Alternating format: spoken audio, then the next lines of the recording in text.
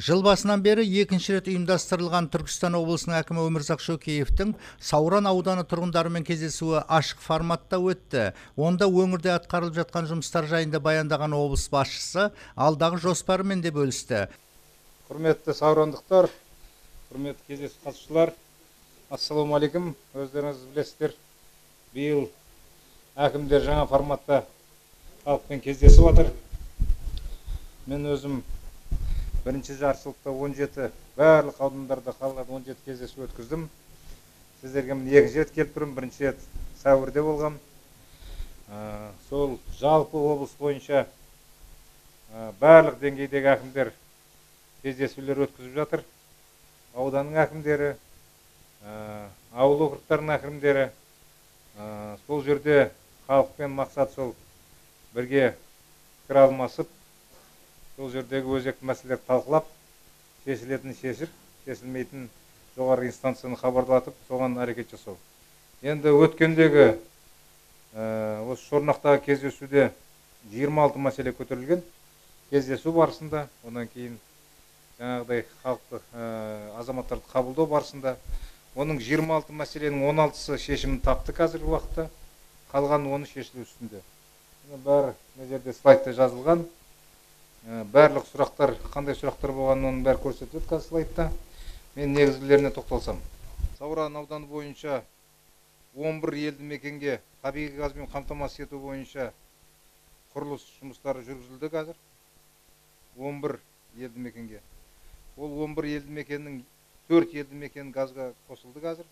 Қалған 7 екі елді мекені ескі станциясы газ тарату станциясына байланысты. Әзір ә, сол газ тарату станциясы метрологиялық аттестация дейді содан өткізеді. Ол осы 15 тамызда бітеді. Содан кейін сол газ тарату станциясы қосылғаннан кейін жеті елді мекен ә, табиғи газға қосылатын болады. Екінші мәселе көтерілген сол кезде сауран ауданындағы облыстық маңызы бар. Кх 95 ә, мынау магистральдан ынталы елді мекен дейін автомобильдік жолының 20 километрін орташа жөндеу жұмыстарын жүргізу болатын. Қазір мердігер анықталды. Құрылыс монтаждау жұмыстары жүргізіліп жатыр. 20 шақырымға асфальт жабын төселеді. Ынталы ауылына бірде екі шақырымға жаяу жаңа тротуарлар жасалады.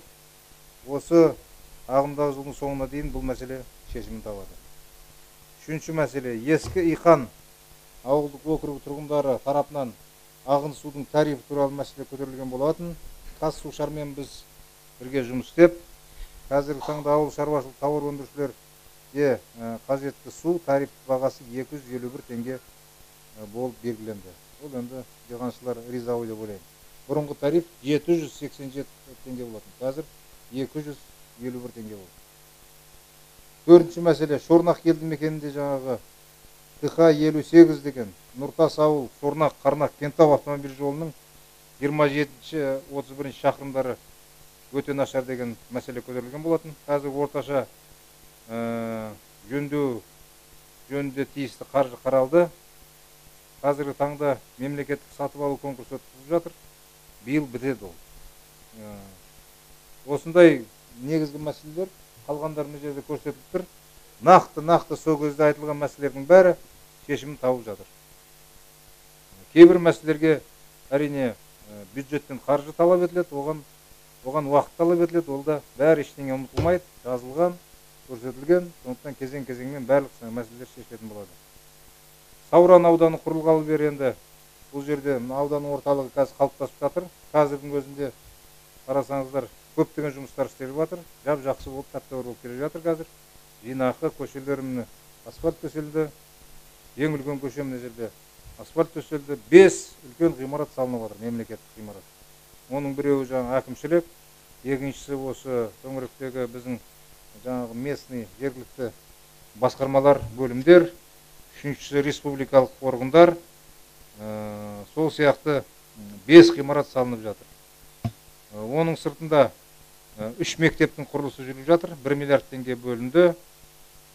Сондықтан бұл мектептер бәрі іске қосылатын болады. Сорнақ қос мезгіл елді мекенінде үш жүз орындық оранғай елді мекенінде жүз елу орындық сондай мектептер салынып жатыр қазір. Биылғы жылы ауыз су жүйелерімен қамту жұмыстарына ұлттық қордан қаржы бөлінді. Шорнақ ауылдық округіне басқа да елді мекендерге. Ауыл ел бесігі жобасы аясында жеті жоба іске асырылуда. Бабайқорған елді мекенінде жаңадан спорт алаңшасы салынуда Э, осы жылды пайдалануға беріледі. Шорнақ елді мекенінде жаңа жиырма көше жарықтандырылып жатыр. Бұдан бөлек облыстық бюджеттен сауран абаттандыруына тағы да 530 миллион теңге бөлінді. Техника алынып жатыр. Әртүрлі жаңағы э, шаруашылыққа коммуналдық техника ал- ал- алынып жатыр. Шорнақ елді мекенін аудандық орталық қылу үшін э, бас жоспар түзілді. Оның жаңағы егжей тегжейлі жоспарлау жобасы дейді пдп сонысы жасалып жатыр. Осы пдп ға байланысты келешекте сауран жаңағы сауран о- ауданының орталығы шорнақ э, үлкен елді мекен қалыптасатын болады. Сонымен қатар жаңағы үлкен жол жөнделіп жатыр. Онымен қатар сариев досметов майлина қорған сияқты төрт көше орташа жөндеуден э, жаңағы өтетін болады. Оған 686 миллион теңге бөлінді. Сол сияқты енді сауран ауданы мемлекет басшысының жарлығымен құрылған жаңа аудан э, өте қатаң бақылауда э, мемлекет басшысы тарапынан. Сондықтан біз алдағы уақытта да сауран ауданына э, көңіл бөлетін боламыз.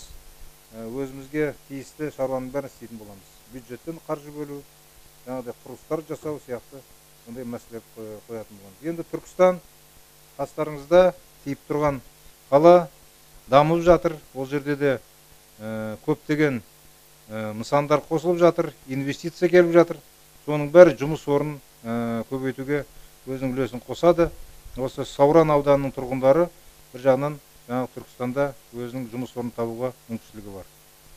Сол сияқты жұмыстар атқарылып жатыр. Енді мен докладқа көп көңіл бөле бермей сұрақ жауаптарға көшуге рұқсат шабанақ қосқорған елді мекені оранғай әкімшілігі үш ата төрт ауыл бар ғой.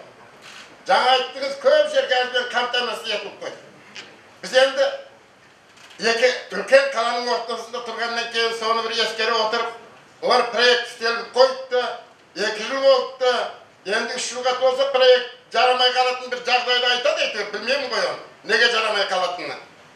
Күрделі ақшамен қайтадан проект істеуге тура келеді екен да соған бір ықпал жасап айналай өмірзақ інім соны бір бастап жіберсең біздің де бір жиырма мыңға жуық халқымыздың алғысын алатын едім тағы да енді оранғай ауылдық округі кентау мен түркістан арасында орналасқан ауыл ол жерді жақсы білеміз проблемаларын жақсы білеміз бірақ ол жер келешегі зор деп ойлаймын. Мына екі қаланың ортасында қазір мынау су мәселесі шешілді ең үлкен мәселе ол жерде.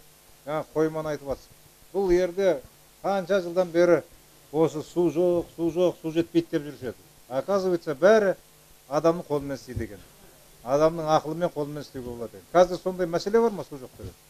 Су бұрынғы далаға кетіп жатқан су сол жерге жинадық біз 18 миллион. Лотокпен әкеліп оны түркістанда төрт қойма салдық қаланың өзінде. Бірінен біріне ағып қазір түркістанда енді ол суды пайдаланамыз әлі. Түркістанды көгертуге сол керек болады. Каналда су жетпей осы күнге тоқтап қалатын қазір каналда ондай проблема жоқ. Бәрі мәселе жаңағы ақылмен менеджмент дейді ғой ақылмен соны басқару су мәселесі. Сосын дұрыс жаңағыдай ә, нысандарды салу.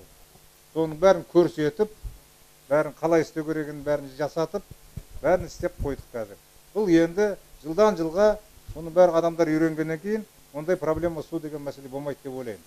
Су болғаннан кейін ол жердің бәрі мына оранғайдың төңірегінің бәрі керемет егіс болу керек. Қазір дала болып жатқан жаңағы жайылым болып жатқан жерлердің бәрі егіс болу керек негізі суармалы егіс болу керек. Оған барлық мүмкіншілік бар. Сондықтан сол жердегі кәсіпкерлерге де мен айтқам ана жерлерді алып жаңағы қондырғыларды қою керек. Жаңбырлату тамшылату былай арықпен суару деген болмайды қазіргі заманда. Көп жаңағыдай технология қосса оның бәрін көрсетіп жатырмыз қалай жасау керек. Ана жер төрт жүз гектар қастарыңызда қараөрік несін салдық. Төрт жүз гектар. Аэропорттың жолында. Көрдіңіздер ғой? Сондай неге бізге жасамасқа соны? Төрт жүз гектар деген мына қара өрік деген қазір өте пайдалы өнім. Алманың бір килосы бір доллар тұратын болса қара өріктің бір килосы үш доллар тұрады қазір. Үлкен үлкен қара өріктер соны істеуге болады. А қара өрік бұл жерде жалпы өрік косточковый дейді. Түркістанның егетін отырып жатқан косточковыйның несі жері бұл. Алма бұл жерде онша өспеуі де мүмкін. Сондықтан осымен айналысу керек. Біз көрсетіп жатырмыз көрсетіп жатырмыз жүгері жаңағы косточковый жоңышқа жаңағы мал азығы осымен айналысуға болады. Су бар. Осы осыны жасау керек. Екінші мәселе газ. Газ мәселесі жаңа айтып кеттім шешіліп жатыр біртіндеп жаңағы агрс деген бар біздегі жаңағы ескі хан. Сол қосылғаннан кейін бірден жеті ауылды округ қосылатын болады. Қазір төртеуі қосылып тұр. Соған байланысты ол енді оңай жұмыс емес ол агрс кезінде білесіздер облыста ә, жаңа екі жүз тоқсан сегіз жаңағыдай ә, нысандар салынған газовый нысандар кезінде. он үшінші жылдан бері. Сөйткенде ол салғанда подрядчиктер жасап жасап тастап кеткен. Ә, біз келген кезде осындай бә қай ауылға барсаң сол әңгіме. Е мынаны салдыңдар мынау қаңырап тұр газ жоқ мұны неге салдыңдар деген әңгіме. Соны мен көтеріп өкіметке президентке дейін барған. Президент тапсырма берді. Сол агрс-тің қазір тоқсан пайызы жұмыс істеп өтті бұл біздің үлкен жеңісіміз менің әкем 2000 жылы қайтыс болды тоқсан сол кісі айтып отыратын еді о ілгеріде шалдар айтатын еді келешекте түркістан бұдан да үлкейеді жұрт осы араға ағылады түркістанның ұлтырақтай жері алтынмен тең болады деп бұл аңыз әңгіме сол аңыз әңгімені сіз ақиқатқа айландырдыңыз бұған да рахмет айтқымыз келеді жаңа бір жерде бір қарындасым айтты шаршамайтын шүкейік деп сол шаршамай жүре беруіңізге біз де тілектеспіз үшінші мына ауданымызға құда қаласа бір жылдан асты бұл да күніге өзіміз аралап жүргесін көзге көрінбейді бірақ бітіріп істелініп қойды жылдың өзінде бір жылдың өзінде енді осының жан жақта елді мекендер бар мына тұрған ең жақыны біздің бабай осы жердің өзіне күніге ауданға келмесе болмайды біреу соңға келеді біреу больницаға келеді біреу жерге келеді жұрттың бәрі таксимен жүруге қалтасы көтермейді бұрын екі үш рейс жаңағы автобус жүретін еді сол тоқтап қалды мен көп өтінішім жоқ соған ықпал жасасаңыз енді жұрттың бәрі таксимен жүре алмайды ғой сосын жаңағы майданталдан бір інім сөйледі сол майданталдың да ар жақта қазжонда халқының айтып отқан осындай өтініштері бар барлығымыз өтінішіміз біреу ғой дәл осыған өтініш жасасаңыз көп рахмет тыңдағаныңызға енді өткен жолы мына майданталда да айтқан бабай құрған екеуі бізден автобус сұраған түркістанға шорнақ арқылы қатынайтын. Тұрмысы нашарлар бар. Енді бәрі таксимен жүре бермейді ғой. Сондықтан осы ә, екі мезгіл осы жақтан жүретін. Соны біз облысқа айтып жүріп былтыр үш рет ә, конкурс жариялады ешкім қатыспады. Қазіргі таңда мынау ә, жол сол автобустары бар адамдар өздері қатысып соны жеңіп алу керек. Ол да бизнестің бір түрі. Сондықтан оған ешкім қатыспады. Неге? Өйткені ол ертең автобус қоямыз ол бәрібір адамдар мінбейді мінбей қояды. Таксилер бар оның жолын жапқысы келеді осындай мәселелерді айтып ә, жаңағы мердігерлер қатыспады. Оған өткен жолы келгенде де айтқам рахым көкеміз уәде берген бірақ істей алмады балдарын айтқан бірақ кешегі жолы тағы да осы мәселе келетін болғаннан кейін тағы да ә, рахым ағасы дәурен тәңірбергеновті шақырып алып мынаны не істейсің қалай істейсің? деп едім. Онда сіздер ә, шорнаққа дейін қойыңыздар дейді. Ол отыз қырық миллиондай ақша болады екен. Біз жергілікті бюджеттен қоятын болдық. Біз қазір жергілікті бюджеттен қоятын болсақ шорнаққа дейін жүргізетін болсақ одан ары қарай ол өзі жүргізіп ары қарай жүргізіп әкетемін дейді. Сондықтан бұл мәселеде ә, шешіліп қалатын шығар жаңа жылға дейін. Тұрғындар өздерін алаңдатқан сұрақтарын қойып тұшымды жауап алды.